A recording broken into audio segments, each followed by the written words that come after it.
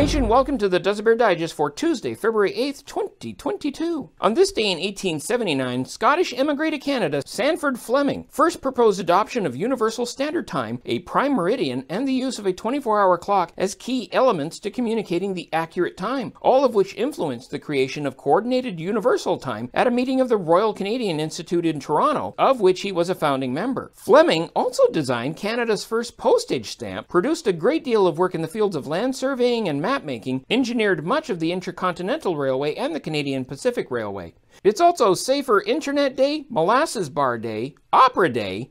Really? It seemed like it was just Ballet Day yesterday. Ugh. Laugh and Get Rich Day, Kite Flying Day, and Extraterrestrial Culture Day. It's about time, it's about space. It's what wine pairs with the human race.